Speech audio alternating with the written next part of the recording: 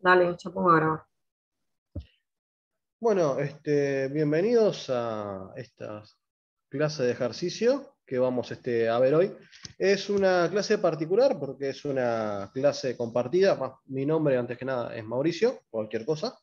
Este, la clase de hoy vamos este, a ver este, dos unidades, digamos, de ejercicio.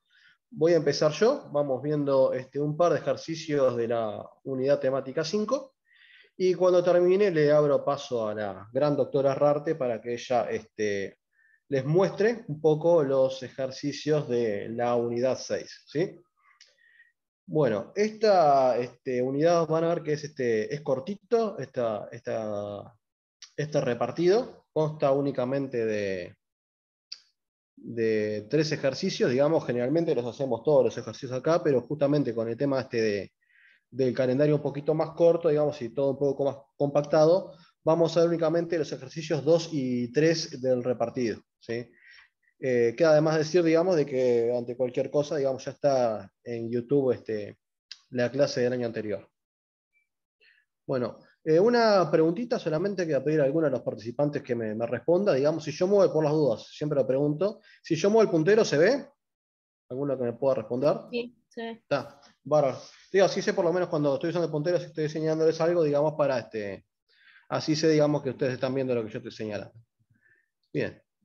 Entonces vamos a empezar, digamos, este, el ejercicio 1 es bastante sencillo ahí, digamos, este, es con un par de ciclos, lo pueden ver ahí, digamos, este, la resolución está habilitada, digamos, en la, en la página del curso, creo que queda habilitada. Entonces vamos a ver un poco el tema del ejercicio 2, ¿sí? Este, este ejercicio, antes de, empezar, digamos, con el mismo, digamos, tiene una peculiaridad, y es que capaz que nos estamos saltando un par de pasos, porque ustedes en la clase con Alejandro vieron el concepto de energía libre utilizado, digamos, como criterio de espontaneidad, pero por ahora únicamente para, este, para equilibrio físico. No han visto todavía para la parte de equilibrio químico. Si bien, digamos, al final de la clase tuvieron una pequeña, una leve introducción, este, es una cosa que ustedes van a ver con un poco más de profundidad en Físico-Química 113 el semestre que viene, cuando ven la parte, digamos, de, equilibrio químico, van a ver un poco más en profundidad. De todas formas, digamos, este, las deducciones, este, lo que tienen que llegar hasta ahora, digamos, eh, el criterio funciona de igual forma, digamos, el delta G como criterio de espontaneidad para, una reacción que tengamos una reacción química, digamos, y se usa de una forma bastante similar. Entonces, este ejercicio empieza diciéndonos que tenemos un mol de carbonato de calcio en un recipiente de reacción, con un pistón sobre la superficie del Sol. Dicho recipiente está sumergido en un termostato a 25 grados Celsius y está sometido a una presión exterior constante. La reacción que tiene lugar es la siguiente, que esto es lo que podemos decir que digamos, es la descarbonatación digamos, del carbonato de calcio para dar digamos, el dióxido de carbono y el óxido de calcio. Entonces, este, en base a los siguientes datos, que tenemos acá una tablita que vamos a ver un poquito más ahora, nos pide calcular la presión exterior a la que debe someterse el sistema para de que este, el carbonato de calcio esté en equilibrio con el óxido y con el dióxido de carbono a 25 grados Celsius. Y después, como un pequeño plus extra, nos pide analizar qué ocurre, digamos, este, con nuestro sistema si la presión externa va a ser distinta a ese valor. Entonces lo que tenemos acá, digamos, es una tablita clásica, digamos, para estos ejercicios de termodinámica, que tenemos distintas sustancias que tenemos en juego, el carbonato, el óxido y el gas, el dióxido de carbono, valores, digamos, este, de entalpía y valores de entropía. Entonces, capaz que vamos a empezar primeramente con un dibujito de nuestro sistema, como para entender un poquito más lo que está pasando ahí. Donde tenemos un recipiente cerrado, digamos, este, y este, totalmente evacuado, donde ponemos un mol de carbonato este, de calcio. Esto lo sumergimos en un termostato a 25 grados Celsius y va a estar, digamos, ante una presión exterior constante, que será, bueno, la presión exterior de nuestro sistema más este, la columna que tengamos acá, por ahora no nos importa demasiado eso. Entonces, esta es la reacción que tiene lugar. Una vez digamos, que tengamos este, nuestro sistema, vamos a poner digamos, el carbonato de calcio en nuestro recipiente cerrado y la reacción va a empezar a evolucionar. Va a empezar el óxido de calcio y el dióxido de carbono.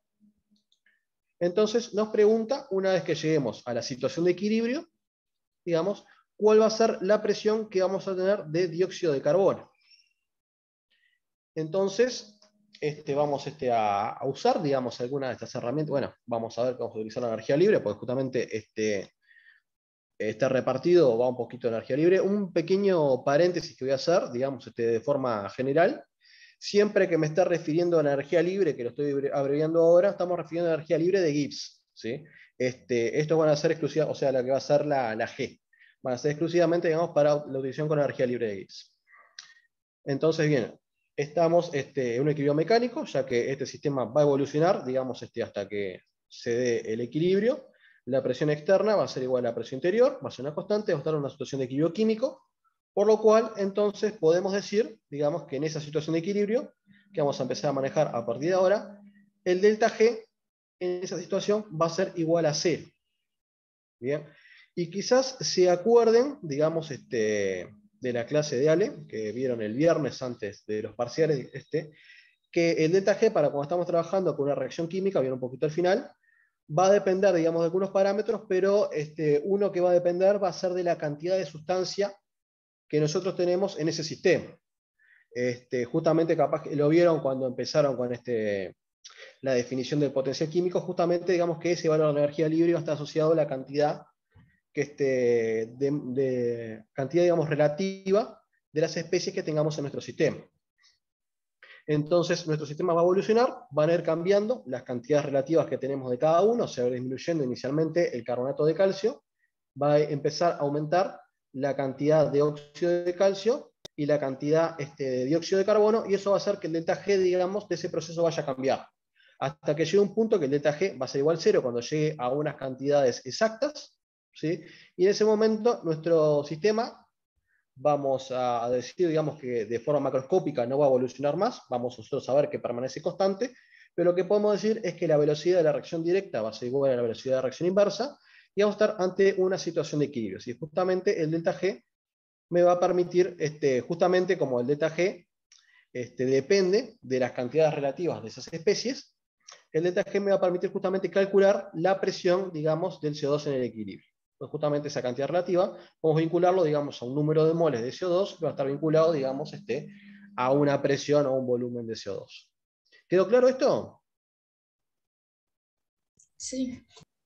Espero no haberlo mareado mucho, pero bueno, ahora cuando veamos los números van a ver que es un poquito más sencillo de lo que parece.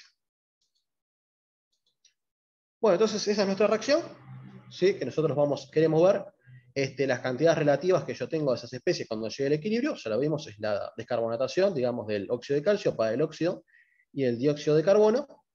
Y el delta G va a ser igual que cualquiera de las, eh, lo calculamos de igual forma que para cualquiera de las otras propiedades termodinámicas, como la energía libre de los productos por su coeficiente estequiométrico menos la energía libre de los reactivos por su coeficiente estequiométrico. Más bien la, sumatoria, digamos, de, de productos menos reactivos por su coeficiente estequiométrico. En este caso bastante sencillito porque todos tienen este, estequiometría igual a 1, así que en este caso el delta G asociada a esta reacción va a ser igual a la energía libre del óxido de calcio más la energía libre del dióxido de carbono menos la energía libre, digamos, en este caso porque es un reactivo, del carbonato de calcio.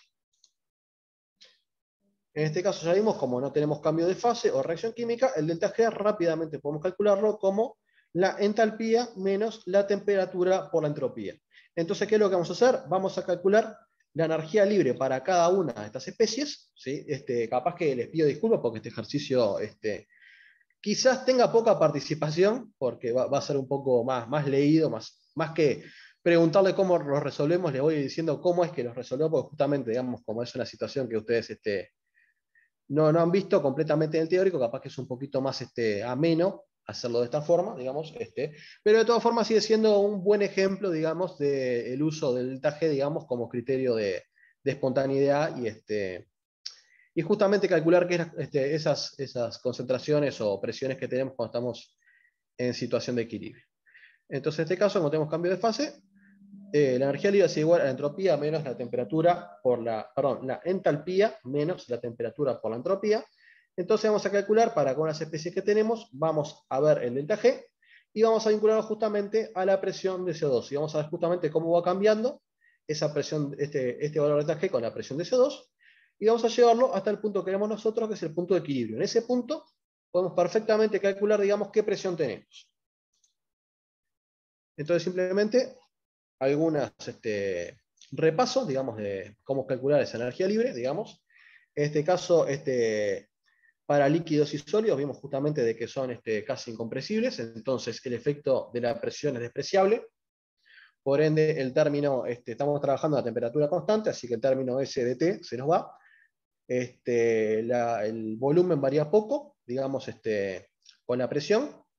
Entonces, vamos a ver que para estas especies, para sólidos y líquidos, la energía libre va a ser aproximadamente igual, digamos, a la energía libre, digamos, en, digamos, este valor de referencia, que va a ser a una atmósfera.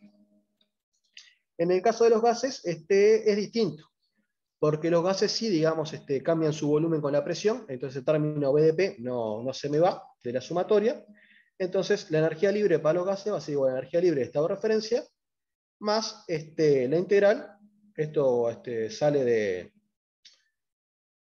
de expresar el volumen, digamos, en función de la presión, aplicando gas ideal y despejando para un mol, digamos, el volumen, RT sobre P, integramos de 1, que es la presión de referencia, hasta la presión externa, perdón, es, un bar, hasta la presión externa que tengamos nuestro sistema, R y T son, este, son constantes en este caso, así que puedo sacarlos para afuera del integral, entonces yo puedo calcular, digamos, este, la energía libre para cualquier gas como la energía libre en estado de referencia más este término, digamos, que es el que se me aparta, digamos, de, ese estado de referencia, que es RT, ¿sí? por logaritmo de la presión exterior sobre 1. O sea, siendo 1, digamos, la presión de referencia, que es igual a una atmósfera o un bar. En este caso, digamos, varía muy poco, voy a resolverlo simplemente como si fuera atmósfera. Entonces empezamos simplemente sistemáticamente a calcular las energías libres para cada una de las especies que tenemos. Empezamos con el óxido de calcio, tenemos los datos en la tablita, así que simplemente es este, hacer cuentitas. La energía libre para óxido de calcio va a ser la entalpía del óxido de calcio menos la temperatura, que es 25 grados Celsius por la entropía. Hacemos cuentitas y ya tenemos la energía libre en calorías por mol para el óxido de calcio. De forma análoga, hacemos lo mismo para el carbonato de calcio. O sea, simplemente este, les dejo los números acá de muestra solamente para verlos. Esto de todas formas está calcado de, de la resolución, digamos que, que la tienen digamos, ahí en, la página del curso, así que tampoco se estresen demasiado digamos, este, en enloquecerse viendo o anotando números o cosas por el estilo. Me interesa más digamos, que, este, que ustedes lo vean y vayan haciendo el razonamiento y vayan viendo los números. Después son números, eso simplemente los, los pueden probar a hacer ustedes y confirmarlo con la resolución, así que tampoco voy a hacer demasiado hincapié, digamos, en las transparencias donde, donde aparezcan demasiados números. Lo importante acá simplemente que para calcio, y eh, óxido y carbonato de calcio, digamos, estamos con fases condensadas, así que la energía libre va a ser aproximadamente igual a la energía libre de estado de referencia. Calculamos la referencia con la tabla que tenemos inicialmente y ya con eso queda pronto. La energía libre es igual a la de la de referencia. Lo único que no va a cambiar un poquito ahí va a ser la del dióxido de carbono. ¿sí? Dióxido de carbono, digamos, justamente porque tenemos este término RT por logaritmo de la presión externa. Si calculamos la energía libre en estado de referencia, de vuelta con los valores que tenemos en la tabla, rápidamente hacemos números, la entalpía menos la temperatura 25 por este, la entropía, calculamos y una vez que tenemos este valor, sustituimos ahí arriba. Entonces ahora me queda la energía libre es igual a este valor, que es la energía libre en estado de referencia, a un bar, más el R, ya está en calorías, por la temperatura en Kelvin por el logaritmo de la presión externa. Entonces, fíjense de que si bien nosotros tenemos valores para la energía libre de los sólidos, porque son fases condensadas, digamos, este justamente corresponde al valor de referencia, digamos, son valores finitos. En este caso, vamos a tener, digamos, una expresión que va a depender justamente de lo que nosotros queremos ver, ¿sí? de la presión externa que tenemos en nuestro sistema. Entonces, nosotros al ir cambiando, la presión a la cual vamos a someter a nuestro sistema, vamos a cambiar este término, por ende, como los otros son constantes, vamos a cambiar el valor del G. Y justamente eso es lo que vamos a ver para ver cómo influye la presión en nuestro sistema. Una pregunta. Sí, por favor. Yo no entiendo lo que sería la presión de referencia, el 1. ¿Por qué 1? El 1, porque los valores estos que son los eh, supra, cerito, esto, este, con el cerito arriba, digamos, son valores de referencia que son tomados este, a un bar o una atmósfera, que es más o menos parecido. Ah, o sea, la fórmula es siempre así, con la integral de 1 a P externa. Eh, siempre, sí, siempre y cuando, digamos, te refieras a una atmósfera, a, una, a un bar, porque viene de acá. O sea, vos imaginate, la energía libre, que es esto que vos tenés acá, va a ser igual a la energía libre, digamos, que va en tu estado de referencia, que ya es a un bar o una atmósfera, digamos, este, va. Jorge, digo, me mataría si dijera eso, porque eres muy fino separando eso, pero numéricamente son muy parecidos, digamos, más una diferencia que justamente va a salir de salir ese estado de referencia, ¿sí? o sea, que va a ser el estado de referencia, que va a ser un bar o una atmósfera sobre tu presión externa. Vos, en este caso, digamos, porque estamos midiendo la atmósfera, vos si quisieras, digamos, podrías este, trabajar en TOR, solamente que en este caso tu presión de referencia en TOR serían 760 este, TOR, que es el equivalente a una atmósfera. Entonces, este, vos integrarías entre 760 y la presión externa, que en ese caso sí la dejarías en torno o en milímetros de mercurio. Bien, gracias. No, por favor, a las órdenes. Yo de esa fórmula tengo una duda. Eh, ¿Por qué no se pega el, número de moles? Porque esto ya está expresado para mol, ya te va a quedar el mol, este, para un mol. Para un mol. sí, porque no vamos a expresar molar. Porque de todas formas pusimos un mol ahí, o sea que va a quedar expresado molar. Perfecto, gracias. No, por favor.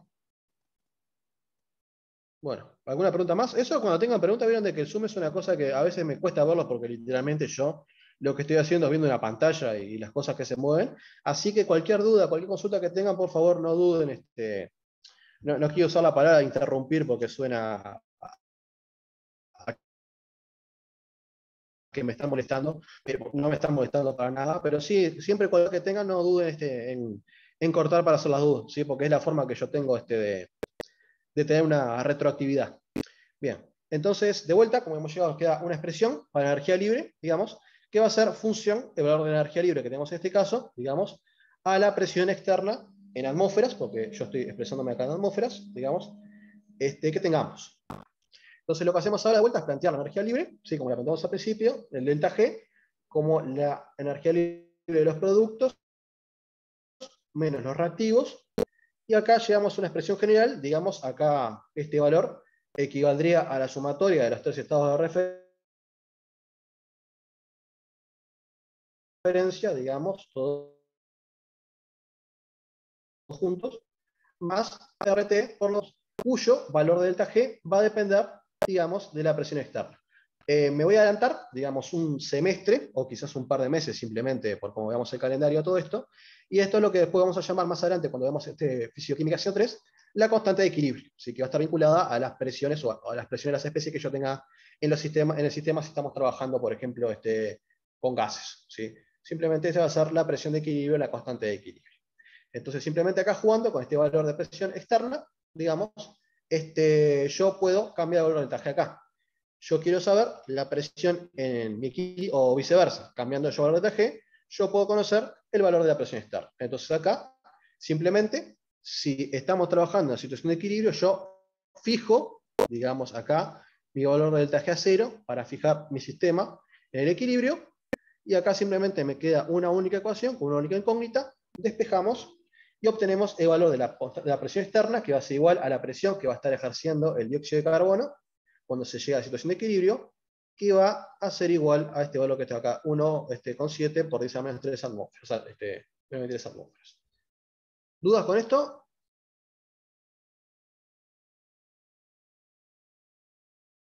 Bueno, supongo que si nadie este, me, dice nada cuando yo digo dudas es porque nadie tiene dudas. Bueno, pregunta, ya veo que por lo menos tenemos gente que está participando, lo cual siempre está bueno. Este número, numéricamente, ¿qué les parece esto? muy alto, muy bajo, muy este, bajo. Muy bajo, ¿sí? Es un valor extremadamente bajo. Es un valor que, permítanme, eh, el atrevimiento, digamos, este, es un valor al cual uno, si a veces llega en un parcial, tiene miedo de que haya metido mano mal la calculadora, ¿no? Porque ese exponente era menos 23, da una vez la impresión de que metió mano mal en la calculadora o que está haciendo alguna cosa un poco rara, ¿sí? No tengan miedo a esos valores a veces que son ridículamente bajos o ridículamente altos, porque acá este es el valor de una constante de equilibrio. ¿sí? Simplemente es el valor, digamos, de nuestra presión de CO2, digamos, un sistema evacuado, cuando mi sistema llega al equilibrio. No necesariamente tiene por qué ser una presión de trabajo. No necesariamente es una presión por la cual ya tengo en el laboratorio. Si en el laboratorio probablemente yo no sé si tengo un sistema, digamos, este, capaz que estoy medio desactualizado, pero no sé si tengo un sistema que me permita llegar a una presión tan baja. ¿sí? Pero de todas formas no es una presión que yo quiera lograr o que vaya a trabajar, simplemente es un valor tabulado. ¿sí? Y es simplemente un punto de equilibrio, ¿sí? que termodinámicamente mi sistema llega. No necesariamente tiene que ser una presión real de trabajo. ¿sí? Por eso muchas veces van a ver este tipo de ejercicios. Quizás no ahora, quizás más el semestre que viene, pero bueno, está bueno para, vincularlo un poquito al semestre que viene, digamos, que, este, no son, este, que se pueden llevar valores de estos, que pueden ser muy altos o muy bajos según cómo se los vea, digamos, este, pero son valores, digamos, de Hamu que perfectamente pueden llegar. Bueno, nos quedaba una segunda parte de este ejercicio, que nos preguntaba, digamos, este, esa es la constante de equilibrio, o sea, tenemos mi sistema, en un recipiente completamente evacuado, pongo el carbonato de calcio, llego a esta pequeñísima presión que tengo acá y mi sistema llegó al equilibrio. Entonces, ahora, ¿qué pasa si la presión externa es distinta a este valor? Y ahora, digamos, este, cualquier estudiante relativamente avispado podrá decirme, bueno, si este es el valor del equilibrio y vos perturbas eso, lo que haces es sacar sistema del equilibrio. O sea, la reacción va a avanzar para un lado o para el otro, pero no va a estar. Y justo lo que habría que ver un poquito, digamos, es qué es lo que pasa, si vamos para arriba o si vamos para abajo, si para qué lado se desplaza el equilibrio. Y bueno, yo, este, eso, digamos, este, vamos a hacer el caso 1, supongamos que mi presión externa, digamos, la que yo este, pongo ese pistón, es superior a la presión que me queda del equilibrio ahí. Es un valor que es este, por encima de este, que es lo más probable, digo yo. Esta presión es muy bajita, digo casi seguro yo, este, en condiciones de laboratorio, si yo este sistema lo someto a una presión, va a ser una presión que va a ser superior a esta. Casi seguro, digo, si trabajo a un TOR, ya, sí, ya es este, casi, no, sí, casi 20 órdenes por encima todavía. Este, así que esta es la situación probablemente más probable. Entonces, ¿qué pasa ahora? Y bueno, ahí tienen dos formas este, de, intuir qué es lo que pasa. Una un poquito más matemática y una un poquito más química, que capaz que es la que me gusta más a mí. La primera más sencilla es la matemática, ¿sí? que simplemente venimos acá. Acá tengo una ecuación ¿sí? en la cual me vincula el valor del delta G con el valor de una presión externa. ¿sí? Entonces, yo, si yo pongo este valor de presión externa acá, yo llego a un valor del delta G0, o sea, estoy en una situación de equilibrio. Ahora, matemáticamente, ¿qué va a pasar si yo acá pongo una presión más grande que la de equilibrio? Si yo acá, por ejemplo, pongo 1 por 10 a la menos 10, por ejemplo, que son 3 órdenes por encima. ¿Qué va a pasar con este valor? ¿Va a ser más grande o más chico? Más grande. Exactamente, más grande. ¿sí? Y si esto con este valor era cero, ¿qué va a pasar con el delta G ahora? ¿A qué signo va a tener? ¿Positivo o negativo? Positivo. Positivo. Entonces, ¿qué pasa con la reacción? ¿Para dónde va? No se da. Para lo inverso. O sea, no se da la reacción. Exactamente. No se da la reacción como la propusimos nosotros, se va a dar la reacción inversa. Entonces, lo que va a pasar es que se da la reacción externa, se da lo que decimos nosotros la carbonatación del óxido de carbono, del óxido de calcio. Entonces, a partir de óxido de calcio y CO2, digamos, se va a dar la reacción, se va a dar, digamos, la formación del carbonato de calcio. En este caso se da reacción inversa, digamos, o hasta que se alcance, se acabe, digamos, uno de los reactivos, digamos, y el sistema luego se comprime hasta alcanzar el, este, el equilibrio mecánico. La otra forma, que es un poquito la más química, es este, la, que más quizás uso yo cuando doy o daba 103, por ejemplo. Digamos, es que imagínense,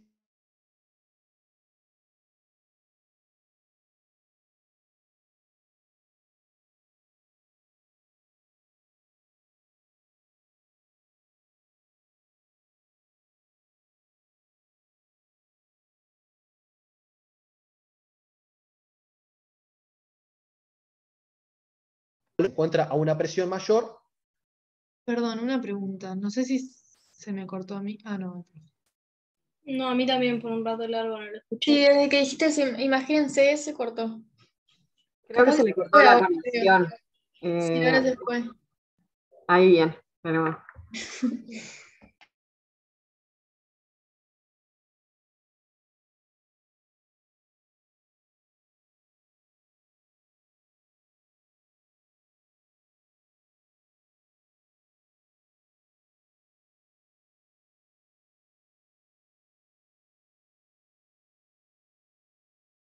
entonces.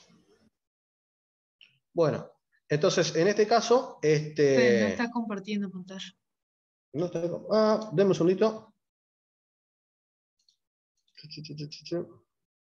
Sí, tuve un problema ahí de conexión. Esto me pasa por no haberme quedado en mi casa. ¿Ahí están viendo? Sí, ahora sí. Vamos de vuelta. Bueno, vamos de vuelta entonces. ¿Hasta qué parte se quedaron? ¿Qué, era lo último que estaba diciendo? Ahora, alguno que estuviera atento, así evito decir todo de vuelta. el razonamiento desde el punto de vista químico. Ah, ahí va. Sí, que el valor, digamos, está por encima de la presión de equilibrio. Entonces, de vuelta, digamos, en este caso, esta es la presión de equilibrio, es la presión, digamos, se están viendo ahí por las dudas, ¿no? Sí, sí, sí. Ahí va. Esta es la presión de equilibrio, esta es la presión a la cual mi sistema va a querer evolucionar. Por lo cual, digamos, si la presión exterior, digamos, o sea, la presión de mi sistema es mayor a la presión de equilibrio, lo que mi sistema va a querer hacer va a ser este, disminuir la presión para poder llegar justamente a esa situación de equilibrio. ¿Cómo mi reacción acá puede disminuir la presión? ¿Se dan cuenta? Sí, desplazándose para la izquierda porque disminuye los moles de gas. Exactamente. Perfecto, perfecto. Consumiendo dióxido de carbono, desplazando la reacción hacia la izquierda. Entonces, de esa forma, digamos, la reacción va a evolucionar, va a tratar de disminuir, digamos, su presión hasta llegar al punto de equilibrio consumiendo dióxido de carbono. Entonces se va a dar la reacción en sentido contrario. Y fíjense que justamente es un poco coherente esto, que este valor, digamos, sea tan chiquito. ¿sí?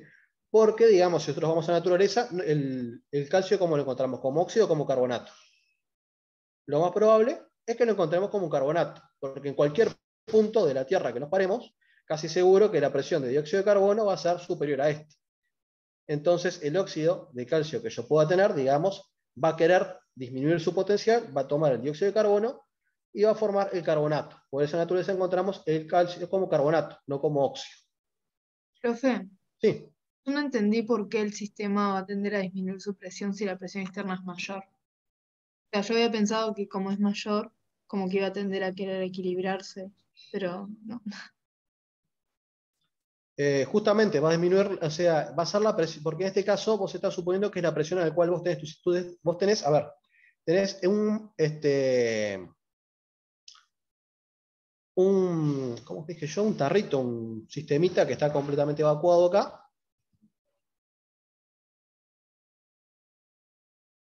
Acá, es un termito, un tarrito, digamos, que está completamente evacuado, y esto, digamos, va a llegar, digamos, a determinada presión. ¿sí? Si tu presión acá, digamos, o sea, va a dar la presión de equilibrio. Si yo lo someto a una presión este, mayor, externa, digamos, simplemente por, este, por diferencia de presiones, esto va a tender a comprimirse al comprimirse, digamos, va a llegar a un punto que la presión de acá va a aumentar. Al aumentar la presión de acá, digamos, este, mi sistema va a salir del equilibrio. Entonces va a consumir dióxido de carbono para tratar de llegar de vuelta a la situación de equilibrio. Eso va a hacer, digamos, que la presión, digamos, siga aumentando. Porque ah, justamente, digamos, queda ahí. Sí, es raro verlo en estos sistemas. Generalmente es más, común verlos en sistemas abiertos donde ya un gas llega a su, a su presión de equilibrio. ¿sí? Pero justamente es porque acá tenés un tabique vos ejerces una presión mayor y al comprimir el gas vas a llegar a una situación de equilibrio donde tu presión interna va a aumentar. Vas a sacar tu, reactivo, del, vas a sacar tu sistema del equilibrio y tu sistema va a evolucionar de vuelta al equilibrio. Va, digamos, a disminuir la presión y así continuamente. Bueno, una cosa parecida vamos a ver con el segundo ejemplo, ¿sí? porque ya vimos que uno era aumentar la presión, la otra es disminuir. ¿Y ahí qué va a pasar? ¿Se dan cuenta? Calculo que ya con esto ya están más que, ¿Qué va a pasar si ponemos una presión menor, externa menor al equilibrio? Todo lo contrario. O sea, ¿será la reacción directa o inversa? Directa. La directa, exactamente, la directa. Por la matemática, porque pueden ir de vuelta, digamos, este, a, a esta ecuación de acá, poner una presión acá, que sea menor que la presión de equilibrio, supóngase que ponen 1,7 a la menos 28, por decir algo, y en este caso, como este valor es más chiquito, el delta G va a quedar negativo, lo cual significa reacción directa. ¿sí? O haciendo el mismo razonamiento ese que, yo les hice, digamos, mi sistema está en una presión menor a la de equilibrio, entonces va a querer llegar justamente a ese punto de equilibrio, la forma que tiene va a ser descarbonatar el calcio para formar dióxido de carbono y de esa forma tratar de aumentar la presión del sistema. Bueno, ¿alguna duda con esto? Bueno, pasaron los. Si, yo digo alguna, pregunta, digo alguna duda y no me responden en cinco segundos, yo hago de cuenta. ¿Cómo? Significa que no tenemos. Significa que no tienen. Si yo digo una duda y no me responden en cinco segundos, calculo que está todo claro entonces. Bueno, vamos con el tercer ejercicio entonces, y ya le dejamos, este, dejamos cancha a la gran Eloísa. Bueno, este sí es un poquito más tradicional, digamos, de, los que ya han visto en el curso de, de 101, en el cual tenemos 100 gramos de agua a 10 grados Celsius, mejor dicho, mezclamos 100 gramos de agua a 10 grados Celsius con 200 gramos de agua a 40 grados Celsius en un recipiente adiabático a presión constante, hasta que la temperatura sea uniforme. Entonces, no como dato, la entropía molar del agua es 16,75 unidades de entropía. Entonces, la parte A y la parte B son un poquito, van un poquito de la mano. ¿sí? Nos dicen este, la parte A que este, justifiquemos, digamos, este, o intuyamos cómo van a ser los signos delta G, delta S del sistema y delta S del universo para el proceso, porque obviamente siempre cada una de estas preguntas tiene que ser debidamente justificada. La parte B ya es un plus que nos pide calcular directamente el valor delta G, delta S del sistema, delta S del universo. Y después la parte C nos pide calcular las magnitudes si el proceso lo hacemos en un termostato a 30 grados Celsius, partiendo del mismo sistema inicial. Pero bueno, eso lo vamos a dejar un poquito para el final. Vamos a arrancar con la parte A y la parte B que dan un poquito de la mano. Bueno, la parte A, esta me la pueden casi responder ustedes, ¿no? Vamos a ver qué es lo que pasa. en este caso, supónganse de que tenemos este, un sistema en el cual tenemos agua. Eh, imagínense una frontera invisible ahí, que pase como por acá más o menos, este, que tenga de acá la frontera para abajo unos 200 gramos de agua a 40 grados Celsius y la frontera para arriba unos 100 gramos de agua a 10 grados Celsius. Y esto va a evolucionar hasta que tengamos, digamos, 300 gramos de agua a una temperatura T que está. Lo máximo que podemos decir ahora, simplemente porque nos mataría la termodinámica, que va a ser una temperatura que va a estar entre estos dos valores. No somos mucho más que eso por ahora. Entonces nos piden calcular los signos delta G, delta S del sistema y delta S del universo. Falta decir que este sistemita es adiabático. Bueno, entonces, y justificar por qué. Entonces, lo primero, ¿este proceso les parece espontáneo? Tener dos masas de agua a distintas temperaturas y que formen una única masa de agua a una temperatura intermedia. Sí. Es espontáneo, sí. O sea, uno diría que lo espontáneo justamente es esto, digamos. No partir, digamos, de 300 gramos de agua a una temperatura y que se separen, digamos, en dos masas de temperatura distintas. Así que, en principio, este proceso es espontáneo. Entonces, delta S del sistema, ¿cómo va a ser? Si este proceso es espontáneo, positivo, negativo, cero, alguna cosa ahí en el medio.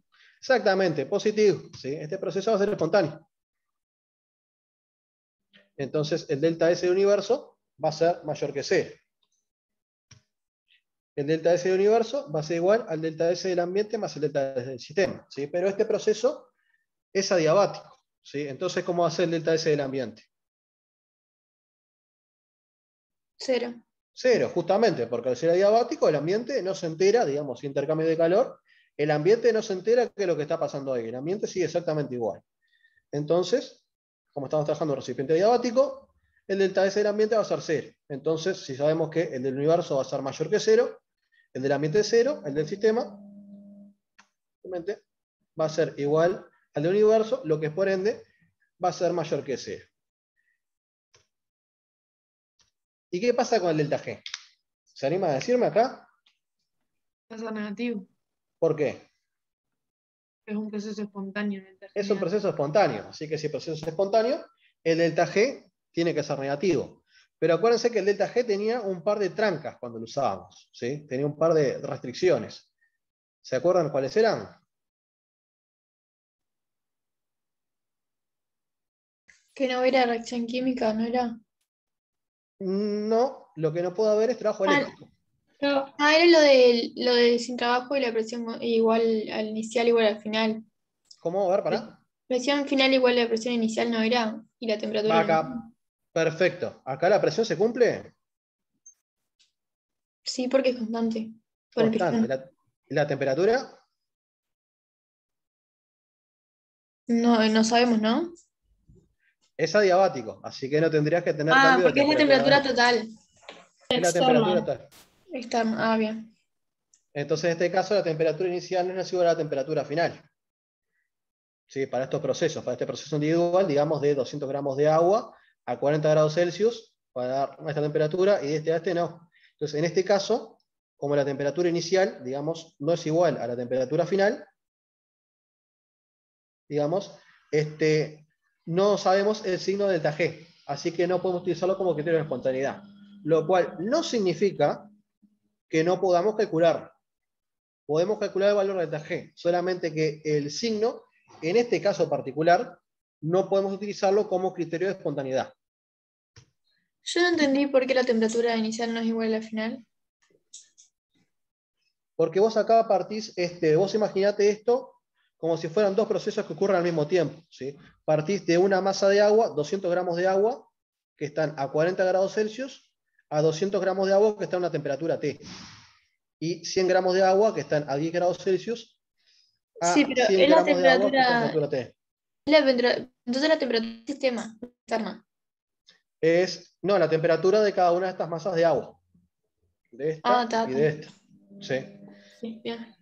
O sea, sí, partimos de dos sistemas, de- o sea, partimos de dos masas a dos temperaturas distintas y llegamos a una masa, sí, capaz que es medio complicado de ver, ¿sí? imagínense, digamos, capaz que, eh, imagínense que tienen dos vasitos aislados, ¿sí? cada uno, digamos, con 200 gramos de agua a 40 grados Celsius y 100 gramos de agua a 10 grados Celsius, ¿sí? y después lo juntan.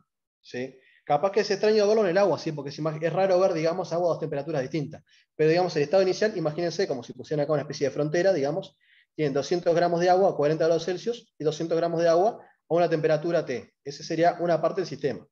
El otro son este, 100 gramos de agua y 10 grados Celsius a 100 gramos de agua y una temperatura T. Entonces, en este caso, la temperatura de esas masas, o sea, va a haber un cambio, digamos, este, en la temperatura inicial y la temperatura final de estas masas de agua.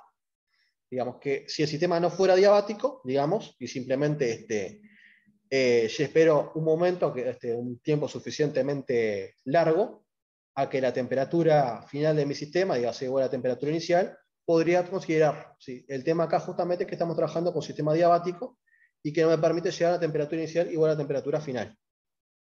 ¿Quedó claro ahí? Sí, sí, gracias. Por favor.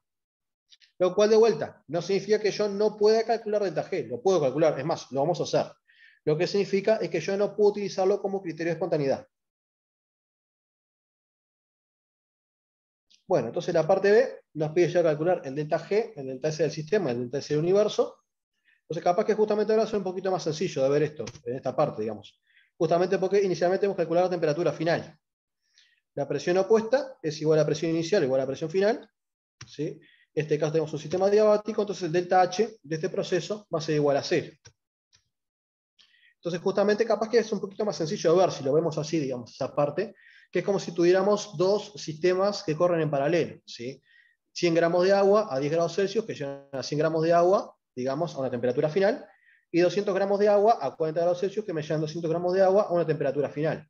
Yo lo que puedo decir, digamos, este, capaz que para tratar, digamos, de, eh, de estructurizar capaz mi sistema, digamos, y llevar a una cosa, digamos, un poquito más, más trabajable, digamos, es que en este caso, como estas dos masas de agua se encuentran en contacto, las masas finales, digamos, este, hay, este, van a llegar a un equilibrio térmico, por ende la temperatura final para este sistema tiene que ser igual a la temperatura final para este otro sistema, si es lo que yo puedo deducir acá, porque estas dos masas entran en contacto.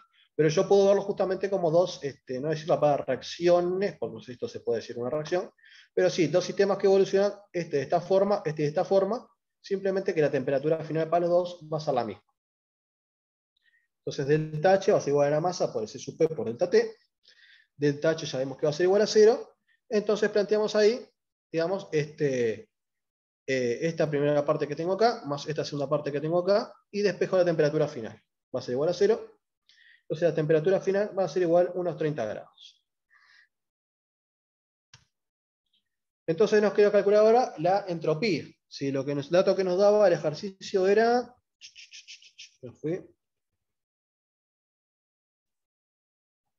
Acá nos daba la entropía molar del agua a 25 grados Celsius. Entonces lo que hacemos ahí, planteamos, digamos, la entropía molar del agua a 25 grados Celsius, ¿sí? Y la modificamos, digamos, ponemos este pequeño plus que viene acá, que va a ser, digamos, para llegar, digamos, este, de los 25 grados a la temperatura de trabajo. En este caso, la entropía del agua, digamos, a 10 grados Celsius va a ser igual a la entropía del agua a 25, que es el valor que tenemos como dato, más la integral de 25 a 10, digamos, del diferencial eh, sobre diferencial T a P constante de T. Este valor tenemos, ¿sí? va a ser 16,75 unidades de entropía, que es igual a calorías por Kelvin. Y bueno, ya del segundo principio saben, digamos que el valor de esta derivada es igual a C sub P sobre T. Lo que nos falta conocer es el C sub P del agua. En este caso, el C sub P es una el agua pesa 18 gramos por mol, entonces este, si yo quiero calcular este, un gramo de agua me consume una caloría, entonces este, 18 gramos me consumen 18 calorías. Entonces el C sub P molar del agua va a ser 18 calorías por mol. Esto es constante, lo saco para afuera, integro en el 1 sobre t, acá sacamos esto. Y de esta forma llegamos, digamos, este, capaz que vinculamos un poquito más acá, a una ecuación, digamos, este, a, una, este, a una ecuación, digamos, que nos permite, a partir, digamos, del valor a 25 grados, digamos, ver cómo cambia con esos cambios de temperatura. Entonces calculamos acá, digamos, con el C sub del agua, integramos de los 25 a los 10 grados en Kelvin, digamos, este, y obtenemos la entropía del agua a 10 grados a partir de la de 25. Estamos valor de 15,82 calorías por Kelvin. Bueno, de igual forma, este, hacemos para 40 grados, digamos, el razonamiento es análogo, solamente que acá integramos, digamos, de 25 a 40 grados, obtenemos el valor del agua a 40 grados, y de acá hacemos lo para 30, integramos de 0 a 30, de 2,98, de 25 a 30, y obtenemos el valor de la entropía del agua a 30 grados. Entonces ahora simplemente delta S del sistema va a ser igual, digamos, este, como sabemos para todas las funciones termodinámicas, este, a la entropía de los productos menos la entropía de los reactivos. En este caso, digamos, si nosotros vemos nuestras dos reacciones juntas, podemos decir de que el producto son los 300 gramos de agua a 30 grados Celsius y los reactivos son los 100 gramos de agua y los 200 gramos de agua a 10 y 40 grados respectivamente. Entonces, en este caso, este, ponemos los productos, que va a ser la entropía molar de los productos, por los moles de los productos, los 300 gramos sobre 18. Acá tenemos, digamos, la entropía de los 300 gramos de agua a 30 grados. Acá tenemos la entropía de los 100 gramos de agua, a, también 100 acá, 100 gramos de agua, a 10 grados. Y acá tenemos la entropía de los 200 gramos de agua a 40 grados Celsius. ¿sí? Y llegamos a un valor que como vemos al principio justamente es positivo porque vemos justamente que este proceso era espontáneo, así que el delta S del sistema, que va a ser igual, digamos, al delta S del universo, va a ser 0,41 calorías por Kelvin. De vuelta, es este positivo, así que justamente va de la mano con eso que vemos que el proceso era espontáneo. Bueno, ¿alguna duda con esto? Bueno, pasaron los 5 segundos, así que calculo que está todo. Bueno, con el valor de la, este, energía libre podemos hacer exactamente lo mismo, yendo a la definición de la energía libre, como este, la entropía menos T delta S. Acá tenemos este, la simplificación, justamente como el sistema es adiabático, este, el, y, las presiones este, son iguales, el delta H es igual a cero.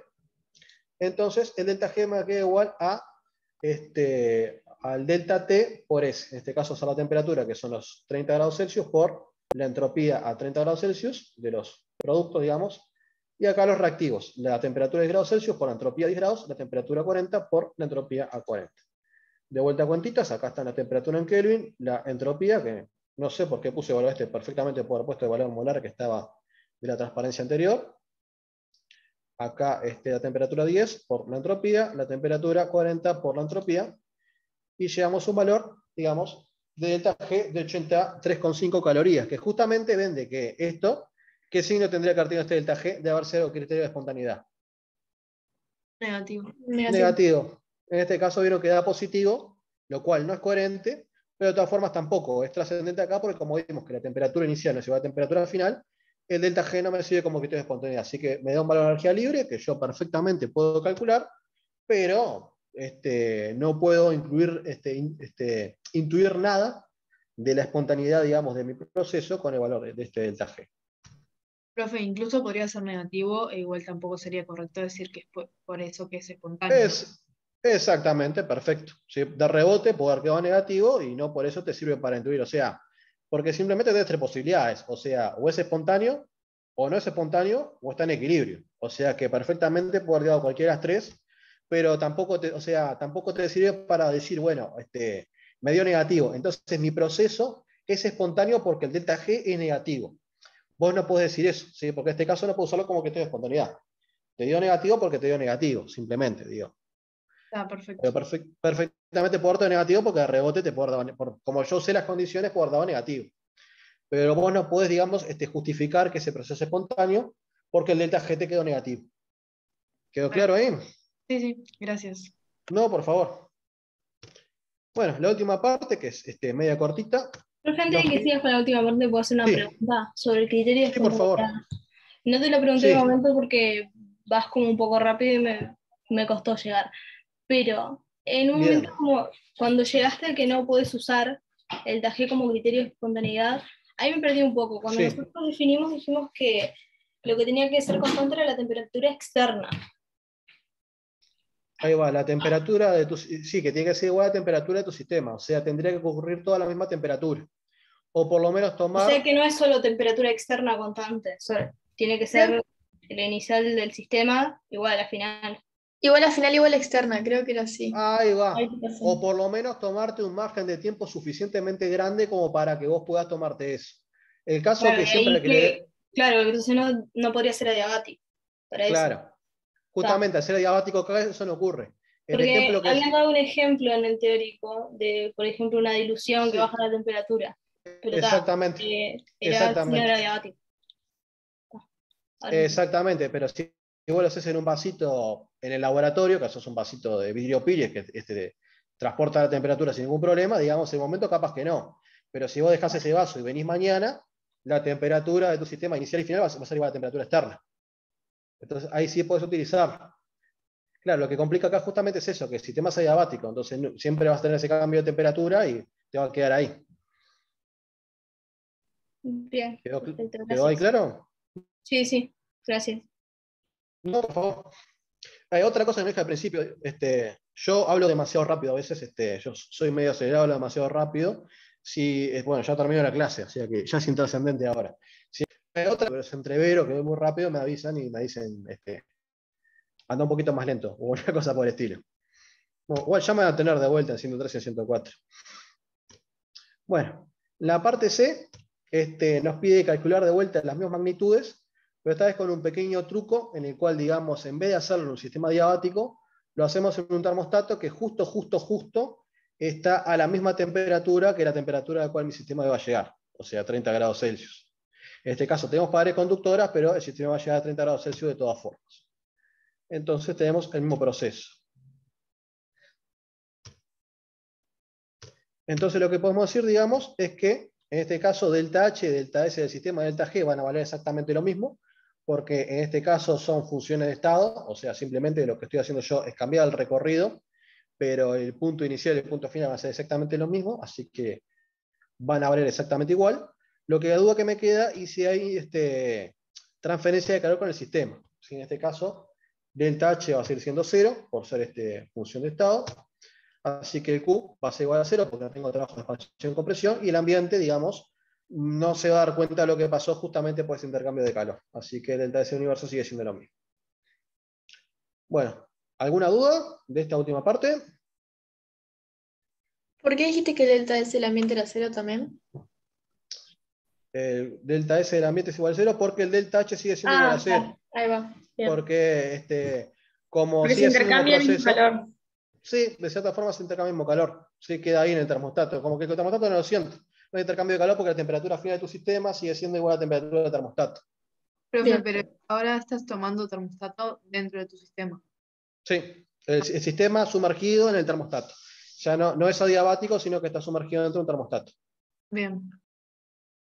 Bueno, ¿alguna preguntita, alguna cosa más que tengamos? Bueno, entonces no, este, no les robo más tiempo y los dejo con, este, con Eloís, que sigue con la segunda parte.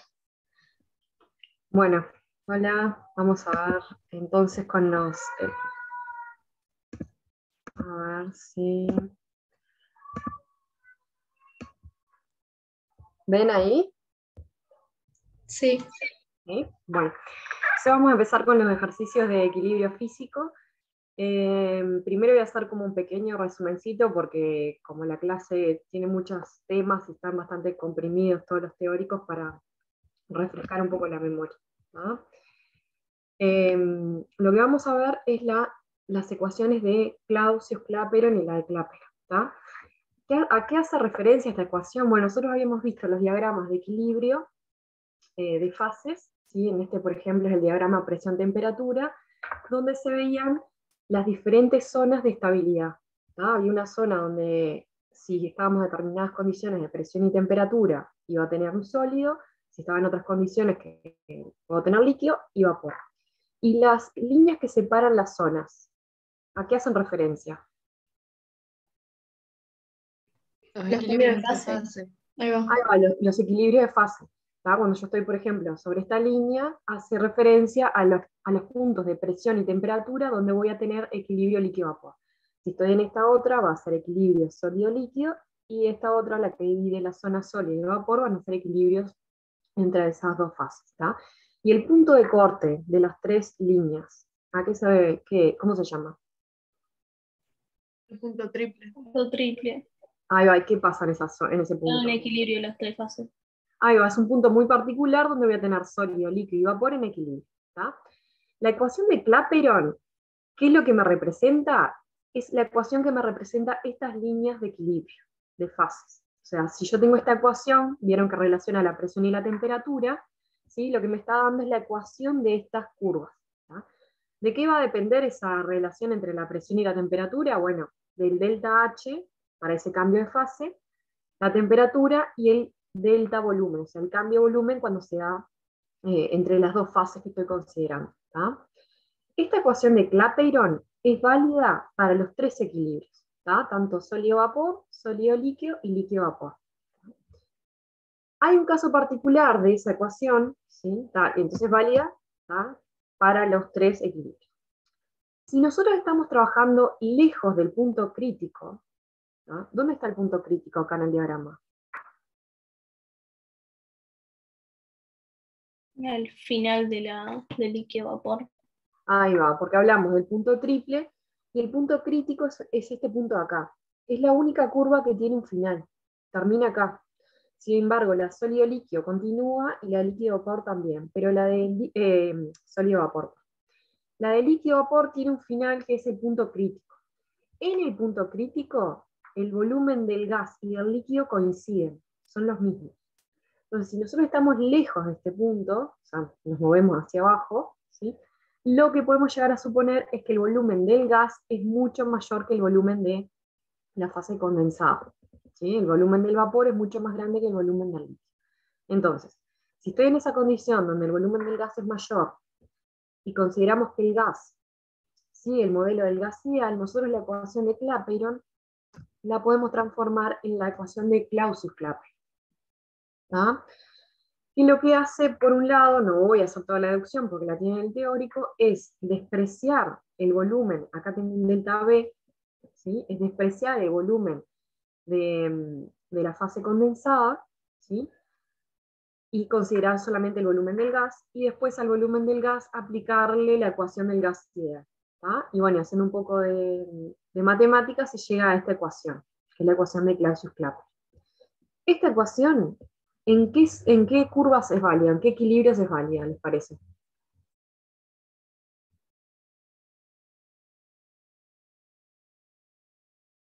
Es válida. Creo vapor nomás. O sea, vapor Ahí de- va. Exacto. Cuando haya una de las fases sea vapor, o sea, o en el equilibrio líquido-vapor, o en el equilibrio sólido-vapor. Porque yo estuve acá haciendo esta suposición de despreciar la fase condensada con respecto al vapor, entonces tiene que haber una fase de vapor. ¿tá? Entonces, es válida solamente en estos dos equilibrios. No es válida para el equilibrio sólido-líquido. Y eso es lo primero que tienen que saber de la ecuación de Clapeyron y la de Clausius-Clapeyron. La de Clausius-Clapeyron es válida cuando hay una de las fases es vapor y la de Clapeyron es válida en todos los casos. Entonces al final se resumen, utilizo la de Clausius Clapeyron en el equilibrio líquido-vapor y sólido-vapor, y cuando tengo que trabajar entre sólido-líquido o entre fases condensadas, trabajo con el Clapeyron. ¿Ah? ¿Se entendió eso? Sí. Sí. Ah, nosotros vamos a ver en los ejercicios donde puedo aplicar Clausius Clapeyron y donde voy a tener que aplicar Entonces, en, los equilibrios donde tengo eh, una fase vapor, aplico Clausius Clapeyron. Y les van a aparecer diferentes formas de, eh, de, expresiones matemáticas de esta ecuación. Nosotros acá le estamos poniendo la ecuación sin integrar. Si nosotros consideramos que el delta H no cambia con la temperatura, yo puedo hacer separación de variables, o sea, paso del diferencial temperatura em, para el otro lado e integro y me queda esta ecuación. La diferencia es que esta simplemente integré sin poner los límites y acá hice la integración con los límites poniendo la presión 1 y la temperatura 1 y la presión 2 y la temperatura 2. O sea que le pueden aparecer cualquiera de estas dos ecuaciones que son válidas, que es la de Clausius-Clapeyron. ¿Cómo hacen para trabajar con estas ecuaciones?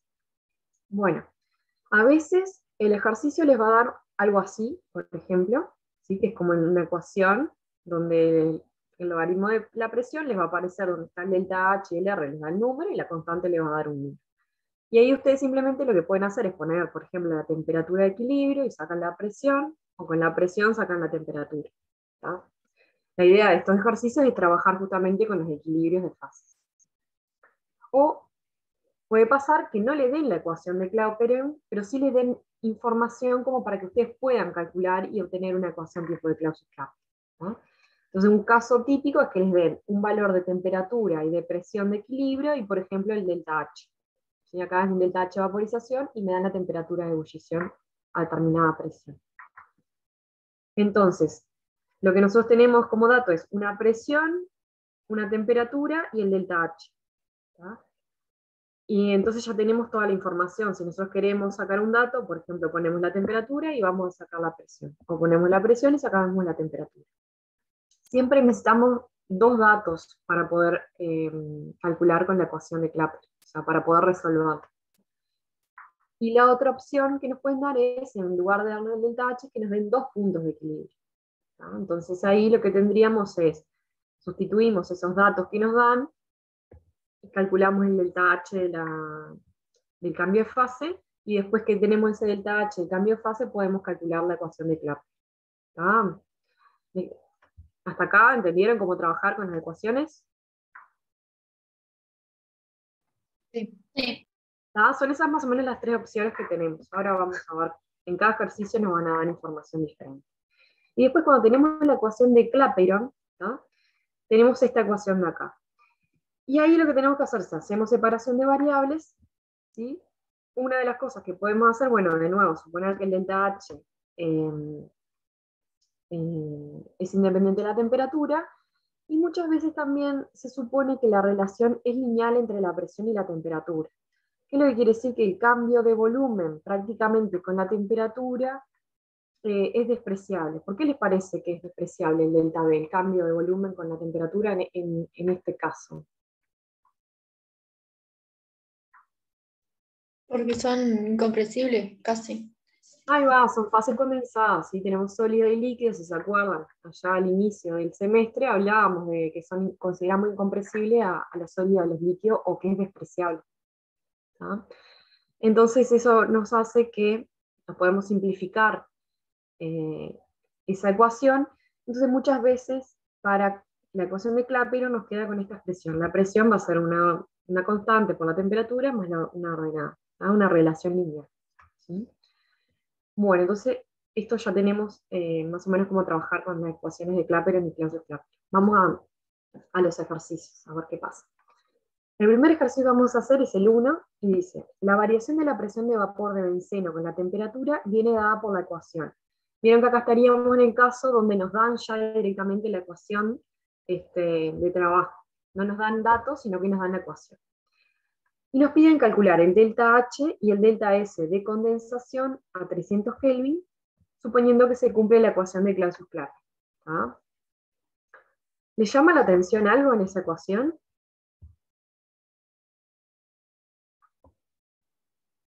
Sí, que tiene una t y una t cuadrado.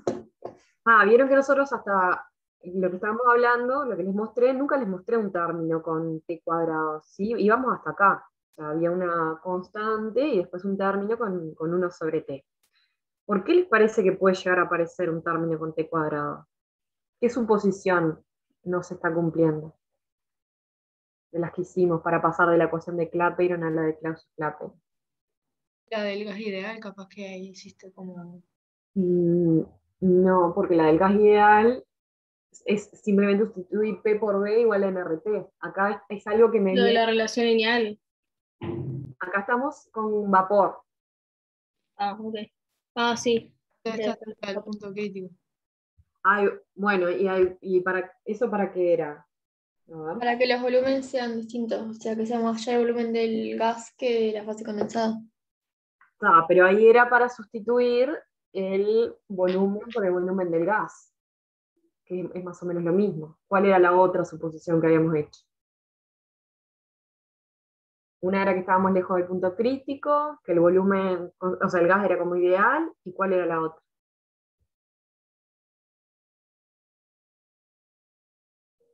No sé. De la Ah. entalpía constante con la temperatura era otro. Ahí va, que el delta H es constante con la temperatura.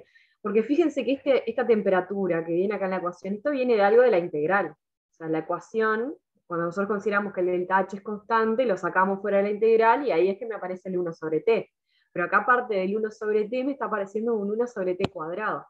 Entonces, de alguna manera me está diciendo que ese delta H no era constante con la temperatura. Ahora vamos a ver. Pero lo que me dice es que se cumple la ecuación de Clausius-Clapeyron.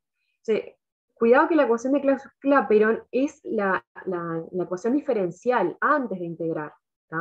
Porque a veces nosotros siempre pensamos en la de Clausius-Clapeyron ya integrada. Entonces, lo que se está- nos está diciendo que se cumple la ecuación diferencial. ¿Tá? O sea, esta de acá.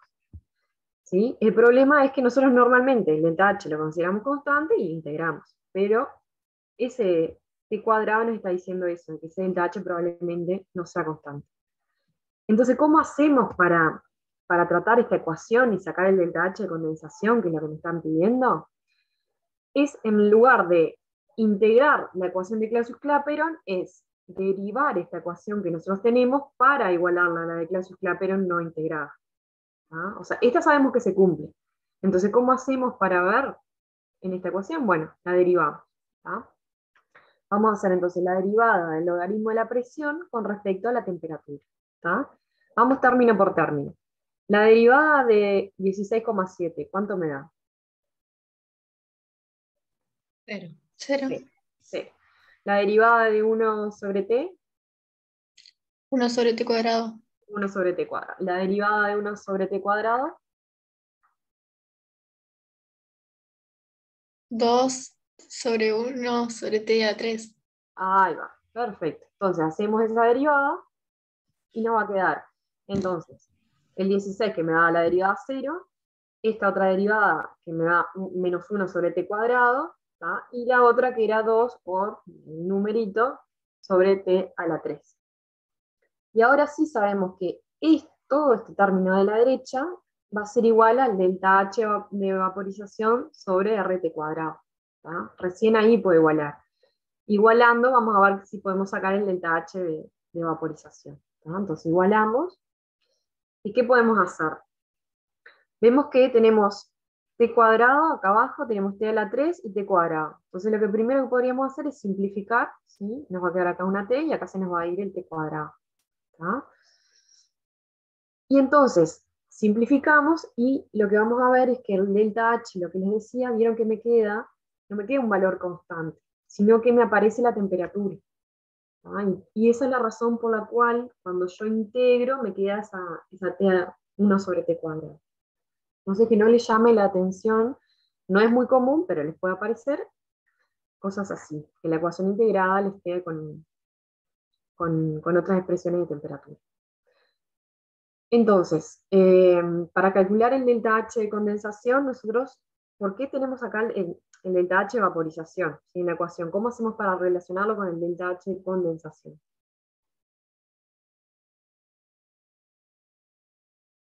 Es el mismo, pero con el signo cambiado. Ahí va, porque vaporizar es pasar de líquido a vapor y condensar es de vapor a líquido. En valor absoluto es lo mismo, lo único que tengo que hacer es cambiarle el signo. Bien, tengo la expresión del delta H, pero si yo no sé la temperatura, no puedo calcularlo. ¿A qué temperatura me pedían el, delta H condensación? 300, Kelvin. A 300. Por eso es que me estaban pidiendo una determinada temperatura. Si yo pongo acá, sustituyo la temperatura en, por 300 Kelvin, me da que el delta H de vaporización es 7.984 calorías por mol. En la ecuación de Clausius-Clapeyron, y bueno, cualquiera, la de Clapeyron, acuérdense siempre, trabajar con la temperatura en Kelvin y que les va a dar el valor del delta H por mol. Entonces ahí les da el valor del delta H por mol. ¿Y lo, qué les parece? ¿Es coherente el signo? Siempre fíjense también eso, la expresión del signo. ¿Les parece correcto que un delta H de vaporización sea positivo? Sí, porque hay que darle calor.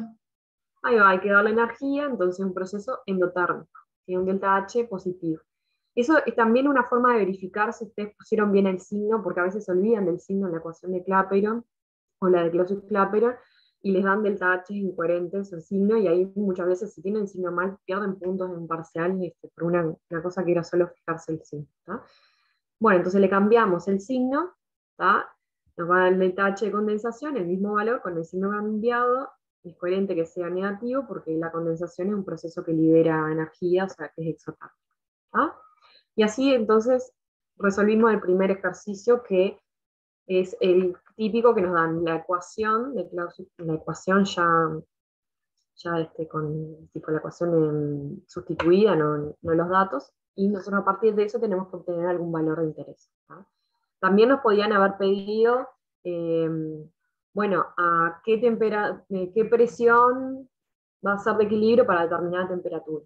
Sería sustituir acá y sacamos la presión. O para determinada presión, cuál es la temperatura de equilibrio. Esas son las cosas que nos pueden pedir. Bien, otra cosa que nos pedía el ejercicio era el delta S de condensación. ¿Cómo hacemos para calcular el delta S de condensación? De un cambio de fase. Lo tienen fresquito de, ahora hace poco. ¿No es el delta H sobre la temperatura? Ahí va, consideramos que, ahí va, consideramos que es un proceso reversible los cambios de fase. ¿ah? Entonces me va a quedar el delta H sobre la temperatura. Tengo el delta H de condensación, la temperatura de condensación, y me da entonces el delta S de condensación, que es 26,61. Acuérdense las unidades, caloría por mol G. ¿Les parece coherente el signo del delta S?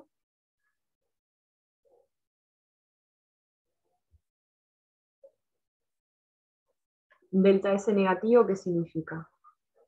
¿Qué le pasa a la entropía? ¿Aumenta o disminuye? Disminuye. Disminuye. Y ah, una que se condensa. Ahí va, Sí, tengo una condensación, estoy pasando del vapor, que es mucho más desordenado, a un líquido que está más ordenado. tiene lógica que el delta S del, proceso ese de condensación sea negativo. También, fíjense siempre en los signos, hagan un, razonamiento ahí rápido para ver si les dio bien. Bueno, y este es el ejercicio 1. ¿Tienen alguna duda? Sí, profe, una preguntita. Viste que en la de Clausius Clapeyron vos tenés eh, tipo que la, mm, la derivada del logaritmo de P respecto a la temperatura es igual al delta H del cambio de fase. Sí. Eh, ¿Y acá por qué de una pusiste el delta H de vaporización? Porque está definido con, o sea, así como mm, con este signo está dado para el delta H vaporización, que eso viene de, yo no, hice la deducción, pero vamos para atrás, cuando aparece este delta B del cambio de fase. Ah, es lo que te da el signo, claro. Claro, porque yo se puse volumen del gas menos volumen de líquido, por ejemplo. Entonces ahí te queda el volumen del gas positivo y yo estoy considerando de líquido a gas, esa vaporización. Yo podría poner eh, el delta H condensación, pero le tengo que poner un signo de menos. Está, bien. Entonces lo mismo, Viene por ahí. Perfecto, gracias. Lo mismo para la sublimación. Siempre considero del sólido al, al vapor. Ya en Clapeyron ahí lo vas a tener que definir vos. Pero ahora vamos a ver uno que usamos Clapeyron. Bien, ahora nos queda el, ejercicio 7. Vamos a hacer el 7. Dice, el punto de ebullición normal de la acetona es 56 grados. Eh, ¿A qué hace referencia cuando decimos temperatura de ebullición normal? A un bar, ¿no? A un bar. Vieron que nosotros en los diagramas presión-temperatura vemos que hay toda una serie de diferentes temperaturas de ebullición. Lo que cambia es la presión. Si me cambia la presión, me cambia la temperatura de ebullición. Entonces acá me están diciendo que cuando la presión es de un bar, eh, la temperatura de ebullición de la acetona es 56 grados. Y me dan el dato de la entalpía de vaporización, que nos dicen que es 6,9 kilocalorías por mol, y nos dicen que en un recipiente cerrado y rígido colocamos un mol de vapor de acetona que está en esas condiciones, o sea, está en un punto de equilibrio, está a 56 y una atmósfera. Bueno, un bar, perdón que. Y nos dicen que todo ese recipiente se enfría a 25. Imagínense, si yo tengo, estoy en el vapor que está justo en las condiciones de equilibrio, y yo enfrío a 25, ¿qué les parece? ¿Va a condensar el vapor o no?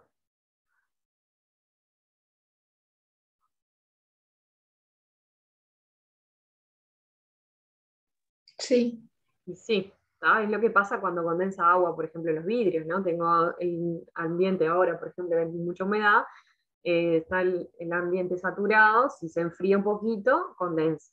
Esto es lo mismo, está en las condiciones justo del punto de equilibrio, enfría un poquito, va a condensar el vapor.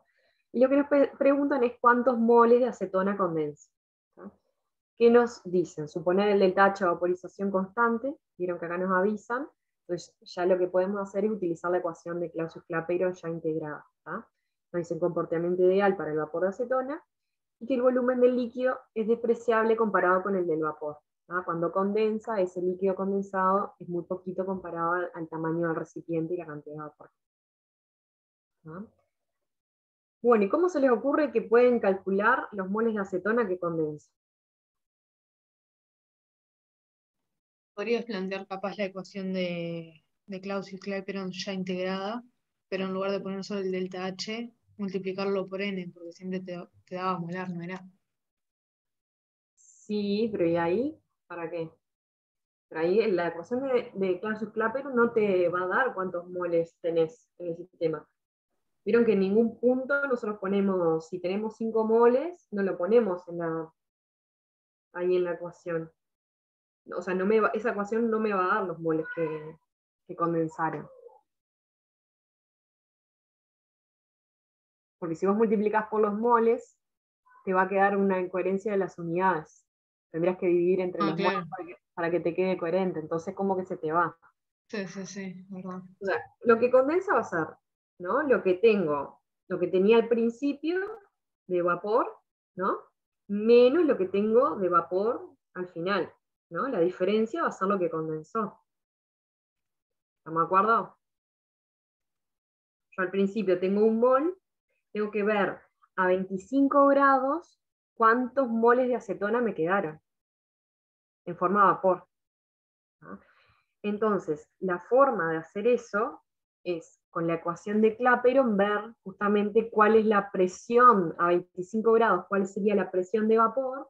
Si nosotros sabemos la presión del vapor de acetona, podemos calcular cuántos moles de acetona hay y ahí calcular este, la diferencia que va a ser lo que condensó vamos a ir planteándolo y, me van preguntando si les genera algo. ¿ah?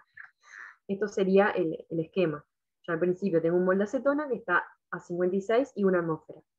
Acá lo que va a pasar es que al enfriar voy a tener acetona líquida y acetona vapor que van a estar en equilibrio ¿ah? a 25 grados y a una determinada presión que yo no sé. ¿Cómo hago para sacar, si yo tengo 25 grados, cómo hago para sacar la presión de equilibrio? Bueno, tengo la ecuación de Clausius-Clapeyron, que es la que me relaciona la temperatura con la presión. Y ahí, sabiendo la presión, con la ecuación de gas ideal, pues a ver cuántos moles de acetona vapor tengo. Y ahí hago la diferencia. Vamos a ver. Entonces los moles de acetona que condensaron son los iniciales menos los moles de vapor finales que voy a tener. O sea, uno, que era lo que partí, y esta es mi incógnita, los moles finales de vapor que tengo. En el estado final el sistema se encuentra en equilibrio porque voy a tener acetona líquida y acetona vapor. Pero lo que no conozco es cuál es la presión de vapor en el equilibrio a 25 grados. Entonces acá estamos frente a, ¿cuál es la situación? ¿Nos dieron la ecuación de Clapeyron? ¿Ya integrada y sustituida? No. No, pero nos dieron el H de pulsación y temperatura de presión. ahí va, y un dato, o sea, tenemos el delta H y un dato de presión vapor. Entonces estamos en uno de esos de los ejemplos que yo le ponía, que tenemos dos datos para poder sustituir. Entonces, nos dan el delta H de vaporización y nos dan que es 6,95 por 10 a la 3 calorías por mol. Y nos dan un dato de temperatura y presión, que es la de temperatura de ebullición normal. ¿Sí? Que es una atmósfera o un bar, y la temperatura 56. Acuérdense que siempre la tienen que colocar en Kelvin. Y entonces, nosotros queremos saber a 25, lo que hacemos acá, donde dice la temperatura de ebullición 2, ponemos 25, o sea, 298, y ahí vamos a sacar la presión. Y esa va a ser la presión del vapor de acetona que va a estar a 25 grados. Acá está la ecuación sustituida, acuérdense, no lo que decía en Kelvin, y la única incógnita que tenemos es la presión de vapor, a 25. Que nos da 0,33 atmósferas. O sea que cuando yo enfríe el recipiente a 25 grados, va a condensar acetona y o sea, como me me condensa acetona, me baja la presión, y yo al principio tenía una atmósfera, condensó acetona, me bajó la presión, este recipiente es rígido, no tengo un pistón que me mantenga la presión constante. Entonces, condensa acetona y me baja la presión. Esa presión va a ser 0,33 atmósferas. Si tuvieras un pistón, condensaría todo, ¿no? Y ahí habría que ver, porque si tuviera un pistón y lo enfrío, o sea, ya pasaste tu punto de, condensación. Ahí, no sé. Sí, porque ahí si la presión se tiene que mantener constante y lo estoy enfriando, no sé.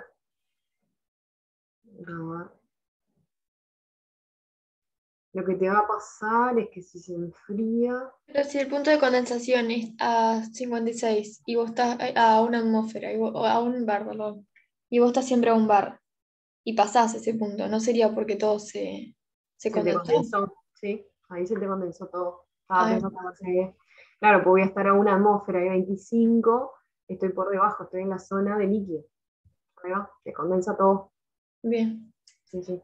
Bueno. Bueno.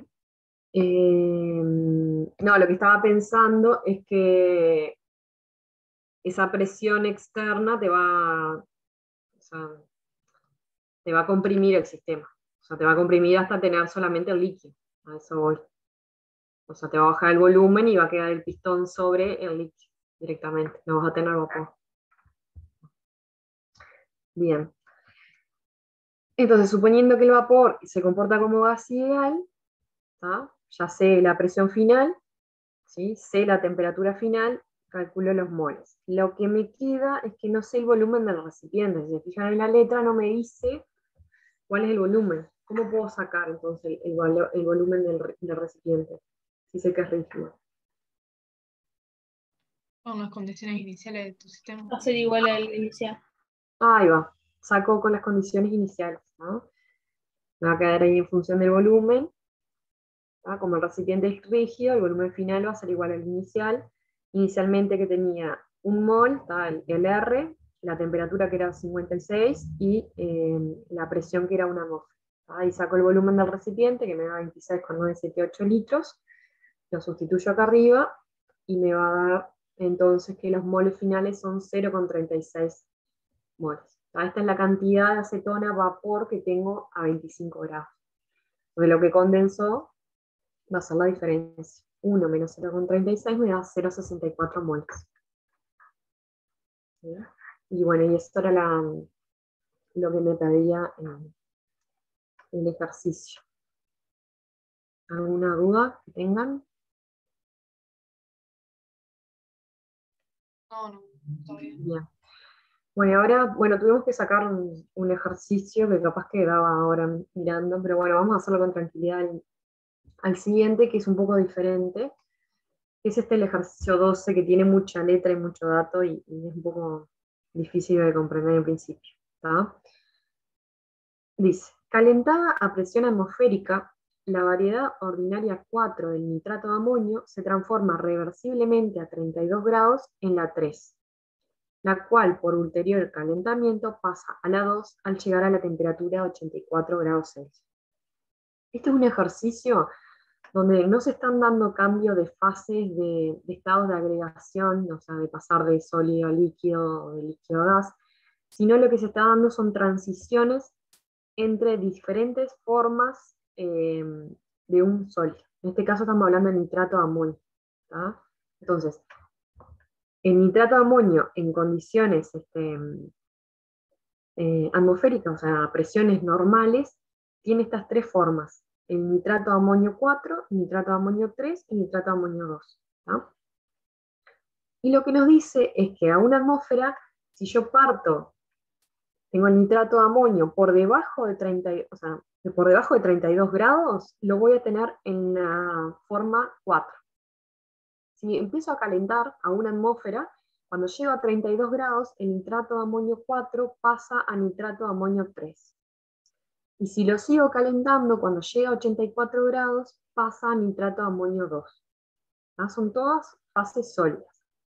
Si estamos hablando de transiciones entre fases sólidas, ¿les parece que, les parece que podemos aplicar Clausius-Clapeyron o Clapeyron? Clapeyron. Clapeyron. ¿Ah? Clausius-Clapeyron no podemos usarlo porque se acuerdan que una de las fases tendría que, tenía que ser un gas. Entonces acá vamos a usar Clapeyron. O sea, la ecuación, la, la, la que se cumple en todos los, en todos los eh, equilibrios es la de Clapeyron.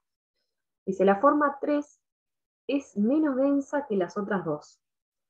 Y a presiones elevadas, su intervalo térmico de estabilidad se reduce hasta que finalmente se anula, como cualitativamente se muestra en el diagrama. ¿Qué quiere decir? Esto que, le que estamos acá arriba era para presión de una atmósfera. Pero si yo aumento la presión, llega un momento donde se da la transición del estado 4 al estado 2.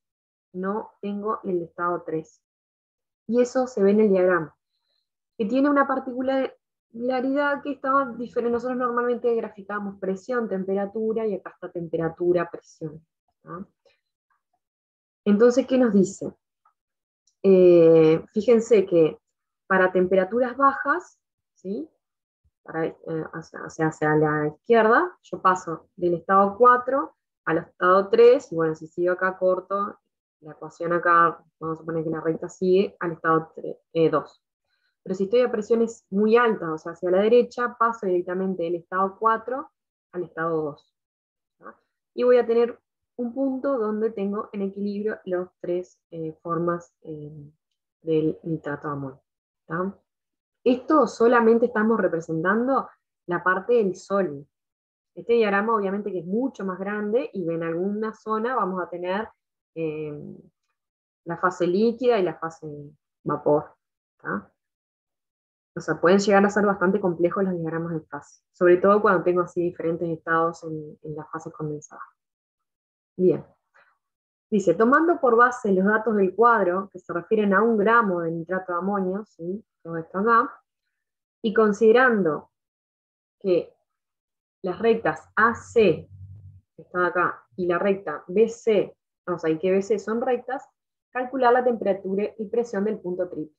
¿Se acuerdan que nosotros muchas veces decíamos que para fases condensadas podíamos suponer que el cambio de volumen con la temperatura era muy pequeño y eh, por lo tanto considerar que las curvas de Clapeyron eran rectas. Si se fijan, fíjense el cambio de volumen que hay entre un estado y el otro. Estamos hablando de 0,04 mililitros. Muy poquito. Bien, entonces, si me piden el punto triple, me dan como dato los cambios de volumen y el delta H para las transiciones 3.2 y 3.4. ¿Qué les parece que tenemos que hacer para resolver el ejercicio? Capaz plantear la ecuación de recta para AC y BC y hacer la intersección. Exactamente, eso mismo. Plantear eh, Clapeyron, encontrar la ecuación de la recta, porque no me la dan, pero sí me dan dos datos.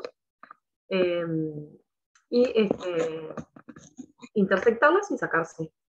Eso mismo. Bien. ¿Qué les parece? Nosotros nos dan, eh, ese es el punto que queremos sacar. Nosotros nos dan, esta es la ecuación de Clapeyron, el dp de t es igual al delta h, el cambio de fase, sobre t por delta b.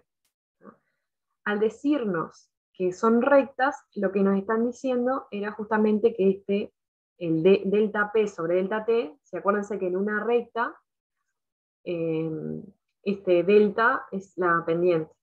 O sea que si es una recta, la pendiente tiene que ser constante. el delta P sobre delta T, o en este caso delta T sobre delta P, como quieran plantear. Me dan el delta H en cambio de fase y me dan el delta B, o sea que tengo estas dos informaciones. Para poder hacer la ecuación de la recta, ¿qué me estaría faltando?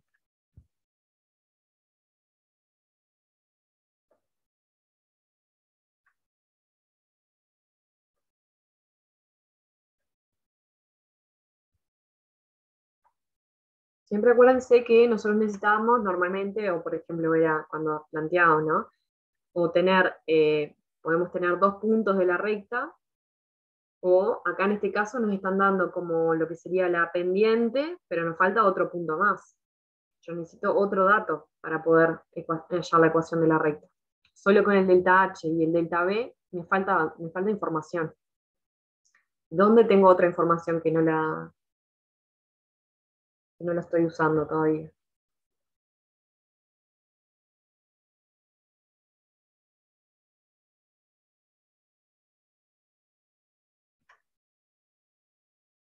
Vamos a la letra del ejercicio. ¿Sí? Por un lado, nosotros para plantear Clapeyron tenemos este cuadrito, o sea que podemos sacar el delta B y el delta H. ¿Qué otra información me dan ahí que todavía no, te dice lo de las presiones atmosféricas y lo de las temperaturas. O sea, presión atmosférica te da las temperaturas del cambio.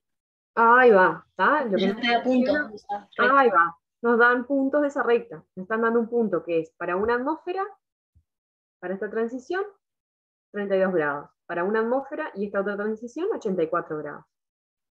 La pregunta es, mirando el diagrama, a ver si logramos detectar. ¿Qué les parece? La presión atmosférica está a la derecha o a la izquierda del punto triple.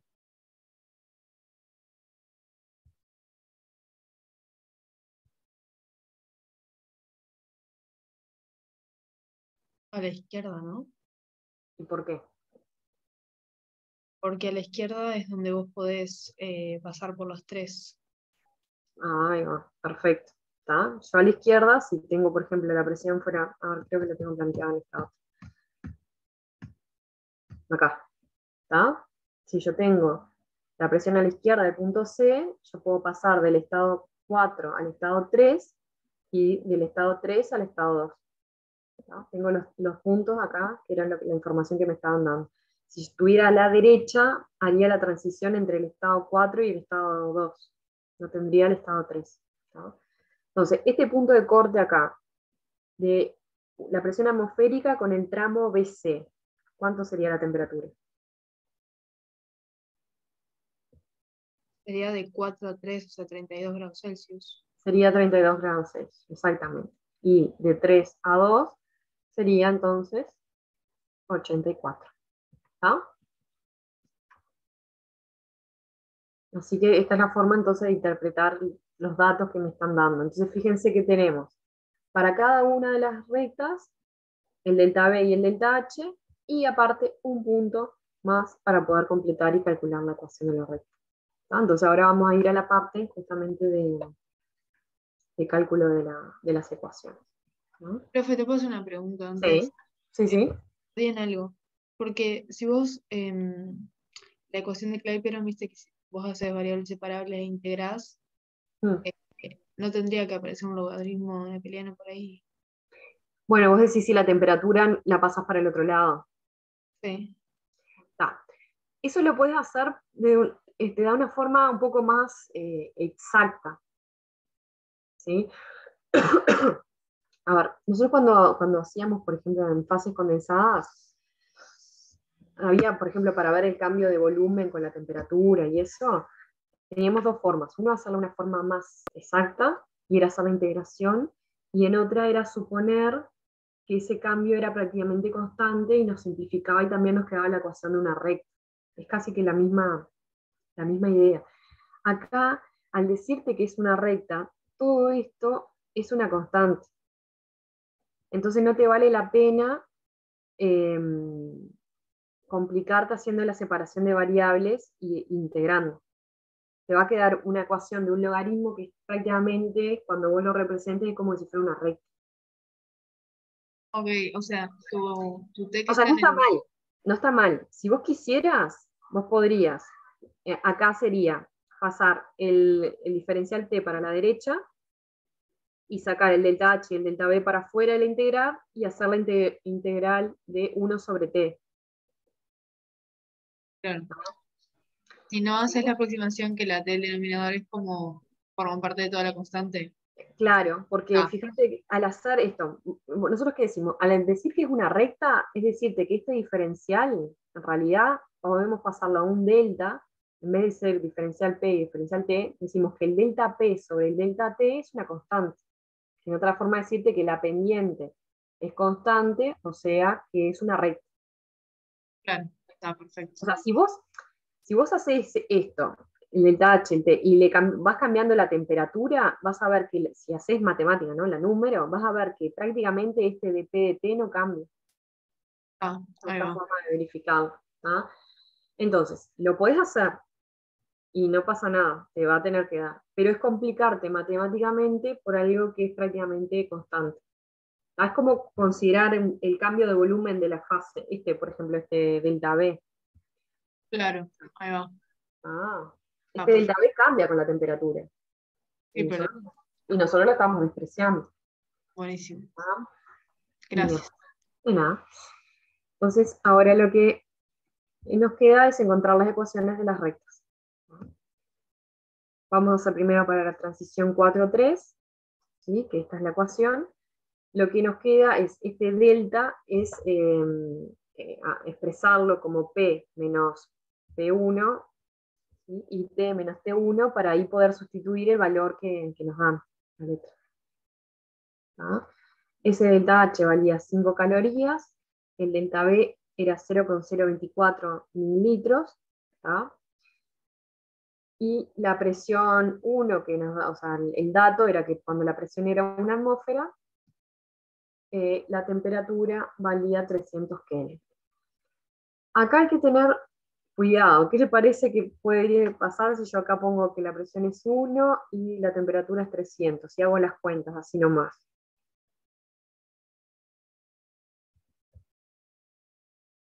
¿Cómo, profe? Repetís la pregunta, por favor. Si yo directamente acá en donde dice P1 pongo 1 y acá pongo 305 y hago las cuentas y despejo la ecuación de la recta.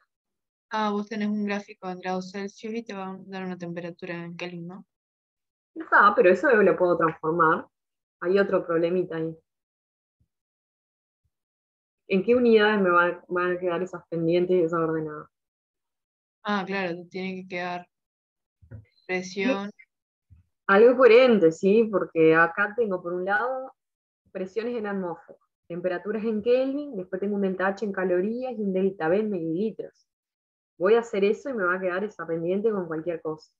Lo que me conviene es pasarlo a, alguna unidad que me sirva. Primero pasar el volumen a litros, puede ser una opción, y la otra de caloría, ¿se acuerdan que para podemos pasarla al equivalente a litro atmósfera? ¿sí? O sea, litro atmósfera también es una unidad de energía. Y ahí me va a quedar todo coherente. Me va a quedar atmósfera de este lado, litro atmósferas acá arriba y los mil litros pasarlos a litro. O sea, te tiene que quedar la misma unidad de cada lado, el signo. Claro, porque ahí va, porque tengo una igualdad. A ver, si yo lo pongo así, no pasa nada. El tema es que después, cuando yo tengo el numerito, tengo que acordarme que ese numerito tiene unas unidades medias intrafalarias. O sea, ahí después tengo, en algún momento voy a tener que hacer transformar unidades.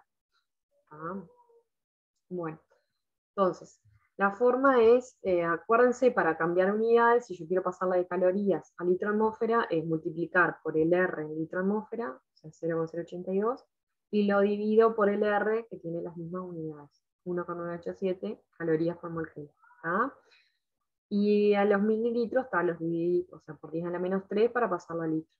Entonces ahí hago toda esta cuenta, y lo que hago simplemente es despejar la presión para que me quede una ecuación tipo P igual P versus T.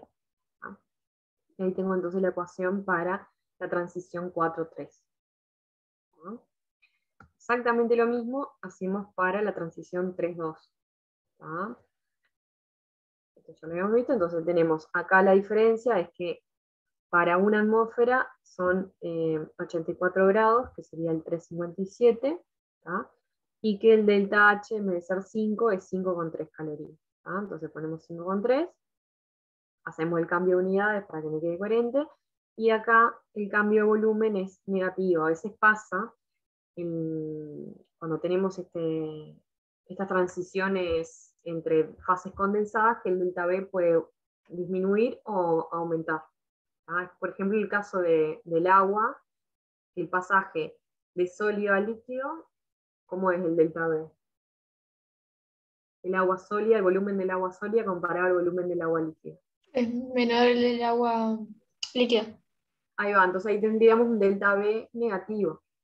Pero en la mayoría de los sólidos, o sea, de las sustancias, el sólido tiene un volumen más chico que el líquido. Entonces el delta B es positivo.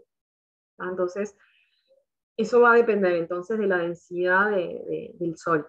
Entonces puede ser que tenga un delta B positivo o un delta B negativo, pero sí hay que considerar ese signo porque si no me va a dar algo raro. Entonces me tengo que poner el signo negativo ahí. Y me queda entonces la ecuación de la recta. Para verificar que hicimos las cosas bien, se pueden fijar los signos de la pendiente. A ver si tengo la gráfica ah, para acordarnos, no que vaya para atrás. ¿Sí? Fíjense que la, curva, la recta BC, ¿qué signo de pendiente me tiene que dar? Positivo. Positivo. Y la recta AC me tiene que dar una pendiente negativa. Entonces ahí es una forma de verificar si hice las cosas bien. Pendiente positiva y la otra pendiente negativa. Bien. Y ahora lo que nos queda es que en el punto triple se cumple que las presiones son iguales y la temperatura son iguales. Entonces, teníamos ahí las dos ecuaciones, lo que hago es simplemente igualarlas, porque las presiones son las mismas, y despejar la temperatura. Entonces me va a quedar igualando y despejando me da la temperatura del punto triple, que son 335,8 Kelvin, y después con esa temperatura voy a cualquiera de las ecuaciones y sustituyo y me da la presión del punto triple, que son 869,5 atmósferas. Y esas serían entonces las condiciones de, donde voy a tener los tres estados eh, diferentes del sólido del nitrato de amonio. Bien, ¿alguna duda que tengan con respecto a este ejercicio?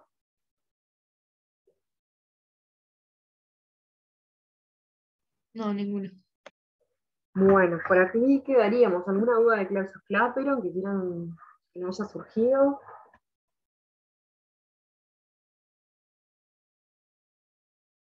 Por ahora no. Bueno, eh, a la brevedad eh, van a estar subidas las eh, resoluciones de estos ejercicios.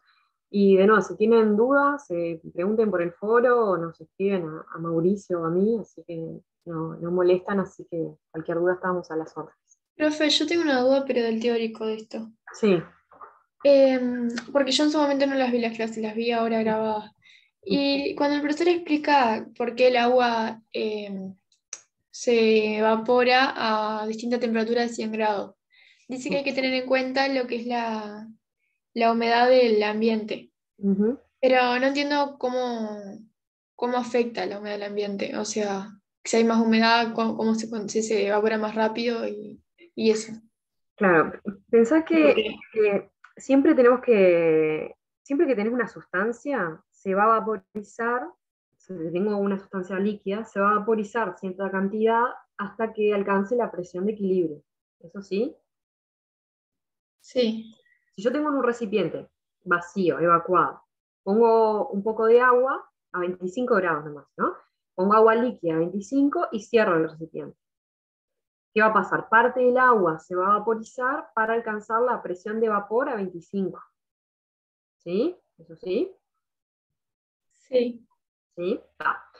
Entonces, ¿cuánto se va a vaporizar de agua? Va a depender de cuánta es la cantidad de agua que hay en la fase de vapor. Si yo lo pongo en un recipiente que está evacuado, o sea que le tengo cero agua, se va a vaporizar bastante para alcanzar ese equilibrio. Pero imagínate que yo coloco esa agua líquida, pero en un recipiente donde ya hay vapor en la fase gas. Piénsalo en un equilibrio como si fuera una reacción química, ¿no? Se va a vaporizar menos cantidad de agua porque yo ya tengo agua a vapor. Siempre la presión al final va a ser la del equilibrio. Pero en un caso se vaporizó mucho porque el, el ambiente estaba evacuado y en otro se vaporizó menos porque ya tenía agua a vapor. O sea, sí o sí eh, se va a vaporizar el agua, si lo pones en cualquier lado, se va a entrar a vaporizar. Se va a vaporizar para alcanzar la presión de equilibrio a esa temperatura. Sí. Aunque vos tengas solamente agua. Y no claro, vos tenés, vos tenés un recipiente vacío, vacío, vacío, no hay nada, evacuado, le pones agua y esa agua se va a vaporizar hasta alcanzar la presión de equilibrio. A, 25 grados, ponerle que creo que son 23 milímetros de mercurio más o menos. Es poquito. Pero si es un recipiente muy grande, capaz que se te evapora todo el agua y no alcanza el equilibrio.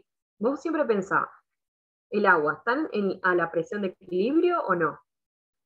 Si no está, el equilibrio se va a desplazar para formar agua vapor y alcanzar el equilibrio. Entonces, con respecto al ambiente, imagínate que el mundo es como un gran recipiente. Entonces, ¿cuánto se va a evaporar el agua? Si yo tengo el líquido, ¿cuánto se va a evaporar? Va a depender de cuánta agua haya en el ambiente. Cuanto menos agua haya, más se evapora.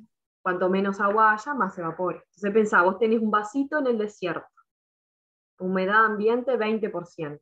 Pones ese vasito, ese vasito al rato se vaporizó. ¿Sí? Bueno, al rato, bueno un rato, claro.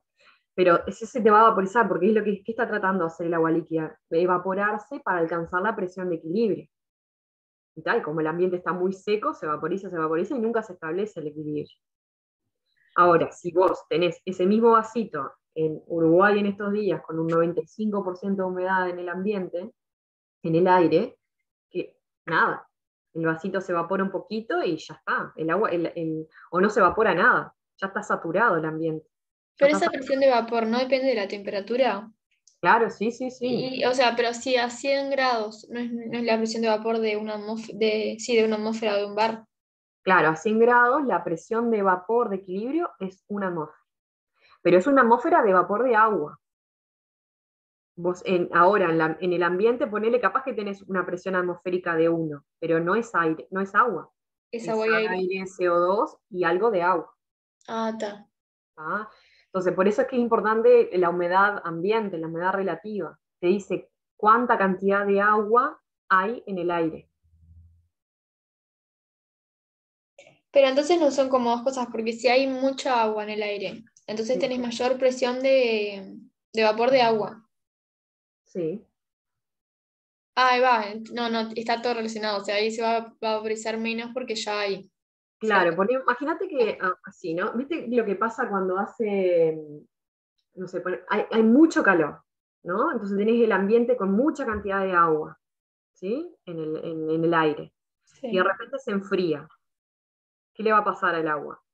Ahora se saturó el aire porque está lleno de agua, se satura y condensa, porque vos estaba en, equilibrio ahí, ¿no?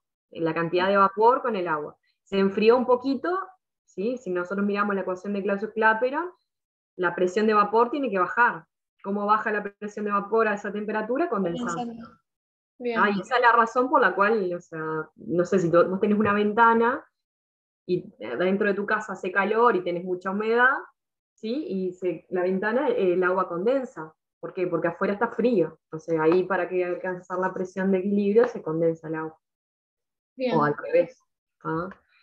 Eh, por eso siempre es importante, por eso, por ejemplo, en verano colgás la ropa y capaz que en un ratito, unas horas, ya se te secó, porque el ambiente, el aire tiene poca agua, y permites que el agua se vaporice de tu ropa, pero si la colgas en invierno, que el aire está muy saturado en agua, puedes pasar días sin que se te seque la ropa. Depende, la, cantidad que se te evapora agua depende de la cantidad de agua que hay en el ambiente. Bien, perfecto. Gracias. nada, de nada.